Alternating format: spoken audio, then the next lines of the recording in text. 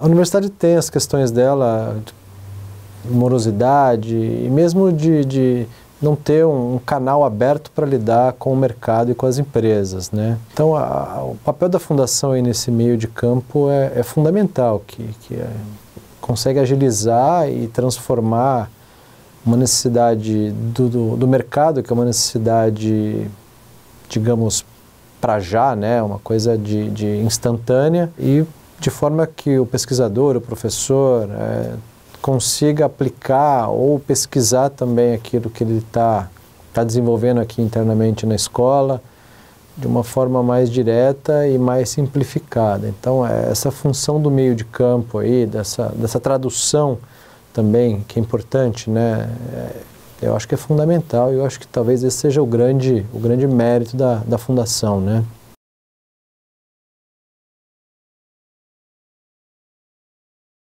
A gente vive um momento econômico do país extremamente complicado, mas ao mesmo tempo é um, é um desafio. É, foram nas grandes crises que a engenharia de produção se desenvolveu. Né? Se for pensar o histórico da engenharia de produção, a gente pega ali o pós-guerra, um período de escassez e crise, a engenharia de produção com os gurus, né, principalmente os gurus da qualidade, foi bastante alavancada. Depois, nos anos 70, com a crise do petróleo, a, a mesma coisa, ou seja, é, a gente conseguiu alavancar a engenharia de produção e, e, os princípios dela e aquilo que foi incorporado pela indústria foi fundamental. Então, todos os grandes conceitos de produtividade, de, de métricas, é, eficiência, eficácia, tudo isso aflorou ali nos anos 70 com a crise do petróleo e foi quando a engenharia de produção ficou em evidência globalmente. Agora eu acho que a gente está numa nova onda, né? A gente está num período de crise, um período difícil da economia, mas que ao mesmo tempo, olhando para o setor produtivo, a gente tem uma mudança de paradigma, né? Daquela coisa da produção para um mercado mais voltado para serviço, os aplicativos de celular funcionando para fazer esse meio de campo entre o provedor de serviço e o, e o cliente, essa coisa da, da, da indústria 4.0, né? A, a, internet das coisas, essa evolução que a gente tem com a utilização da, da, dos sistemas de informação e com a tecnologia de informação, eu acho que a engenharia de produção está num momento bastante interessante para olhar todo esse novo sistema produtivo e, e, e planejar e conceber formas de, de como vai ser a gestão disso, como é que a gente vai organizar isso, como é que eu vou medir, como é que eu vou avaliar a qualidade, a produtividade, como é que eu avalio a eficiência disso tudo, como é que eu otimizo é, os recursos para atender o cliente mais rápido e, e, ao mesmo tempo com o menor custo possível. Então, assim, muito daquilo que a gente viveu há 40, 50 anos atrás, na verdade a gente está vivendo uma nova onda, mas que agora tem a incorporação forte dessa, dessa nova tecnologia, né? E, dessa nova geração que usa hum, praticamente o celular para tudo, um tablet para tudo e, e, aquela coisa da informação rápida, resposta rápida e como é que a gente vai filtrar tudo isso e conseguir extrair aquilo que é bom e como é que a gente vai fazer a gestão disso tudo.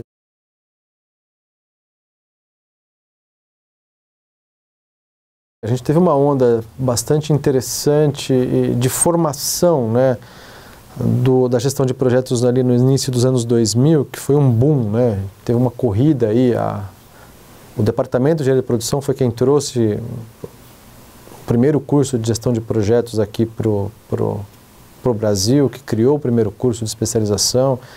O curso vem rodando, é, já estamos aí na turma 60 e 63, 64, não sei exatamente o número, mas são muitos alunos formados.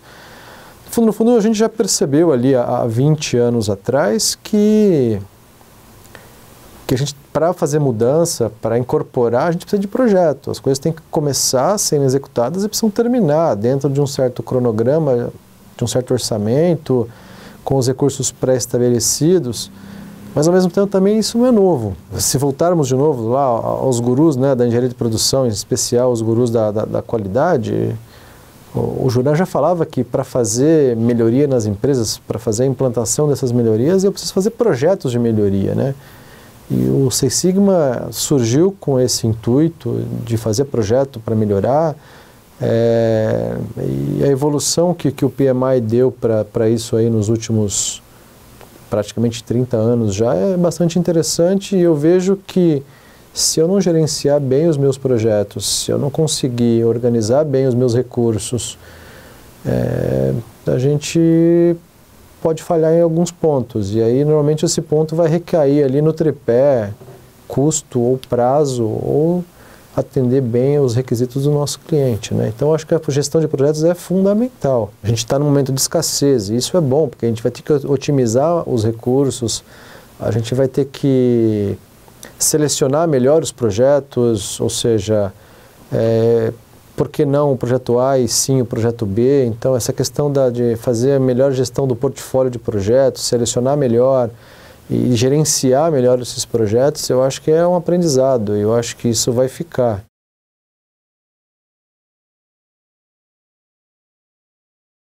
As empresas, os nossos funcionários, eles são realmente eu não vou dizer improdutivos, mas a produtividade deles é, é, é menor que a, que a média aí do, dos países com um grau de instrução maior do que a nossa, a, o nosso efetivo produtivo, aí, as pessoas que trabalham mesmo. Ao longo aí da, da, da, da minha carreira acadêmica, eu estudei bastante essa questão da produtividade de empresas com relação a indicadores de produtividade, e um indicador bastante importante aí que é conhecido como OEE, tá? que é o indicador de eficiência global de equipamento. E a gente tem uma, uma defasagem aí realmente em relação a questões de produtividade. E aí talvez a justificativa não seja só a questão da, da, da baixa ou, ou da, da, da menor qualificação das pessoas. Eu acho que tem outros fatores também. Tem uma, uma questão de, de, às vezes, de protecionismo, às vezes tem uma questão de baixa concorrência. É, então tem outras questões envolvidas, não só a questão da qualificação. Acho que a qualificação é importantíssima, mas às vezes as empresas têm, têm carência de, de, de, de processos, têm carência de gestão, então tem muita, às vezes muita, muita dependência com relação a poucas pessoas, falta de processo, falta de, de, de procedimento de trabalho. E obviamente muita coisa recai em treinamento, mas é, treinamento não é a solução dos nossos problemas, não é só a solução, tem muito mais coisa envolvida. A questão do protecionismo nos atrapalha bastante às vezes, eu acho que as empresas têm que aprender a competir, têm que aprender a, a, trabalhar e às vezes uma, uma concorrência salutar para todos os, os players do mercado aí.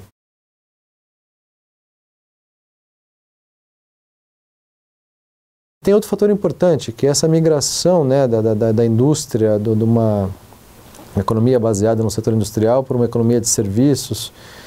E aí sim, talvez a, a questão do treinamento seja até mais relevante. Mas ao mesmo tempo a gente tem que também, é, se a gente for viajar, participar, olhar como é que funciona o serviço em vários lugares aí do, do planeta, é, é engraçado, né? Você vai num restaurante nos Estados Unidos, não tem garçom. Hoje em dia tem lá um tablet em cima da mesa e você digita esse tá, tem lá o menu no tablet, você clica, escolhe o pedido, o pedido já vai para a cozinha, o pessoal separa e já traz o pedido pronto, ou seja, essa questão, voltamos lá, ah, isso é indústria 4.0? Não, faz parte de um conceito, né? faz parte da aplicação de, de, da tecnologia, da TI, do sistema de informação para auxiliar aí essa questão e aí, de novo, voltamos, mas para conseguir fazer isso, a gente precisa de uma qualificação, precisamos de pessoas qualificadas para desenvolver sistemas, para implantá-los, para dar manutenção. Então, tem uma, uma mudança aí nessa, nessa questão da, da, da indústria para o serviço que é interessante. E aí surgem novas oportunidades, novas carreiras. E, de novo, a engenharia de produção está ali, está tá inovando, está olhando para esse sistema, está vendo como é que a gente agrega essa a TI aos sistemas produtivos não só de serviço, a manufatura também, mas é, o exemplo aí do restaurante é um exemplo muito simples e muito enriquecedor de como que a gente pode usar a tecnologia ao nosso favor. E, ah, mas você está é, tirando, né? a gente está tá perdendo emprego, perdeu a vaga do garçom. Não, muito pelo contrário, eu criei muitas outras vagas para o programador de TI, para a pessoa que vai dar manutenção do, do, do, do sistema, para a manufatura do tablet. Então, é é uma mutação e a gente tem que acompanhar e não podemos perder o time disso. Muitas pessoas enxergam gerenciar riscos como atender uma, uma norma, ou uma NBR, ou uma norma legal, ou uma agência. Isso é, é meio que geral isso no Brasil, tá? Muita gente acha que é, para atender, gerenciar risco é simplesmente ter ali um plano de evacuação, atender uma norma da, da CETESB, é, uma norma técnica e assim por diante. Não, é, eu acho que a gente tem que evoluir no risco da gestão também. O risco operacional é, é, o, é o, mínimo. É usar um EPI, né, usar uma bota, um capacete, uma, um cinto de segurança, isso é, isso é mínimo, isso é o básico, é o qualificador total. Agora a gente tem que evoluir na gestão do risco, na gestão do empreendimento, é, pensar que tem riscos é, maiores do que simplesmente os de segurança. Para isso a gente tem normas e essas normas são seguidas e tem alguém fiscalizando.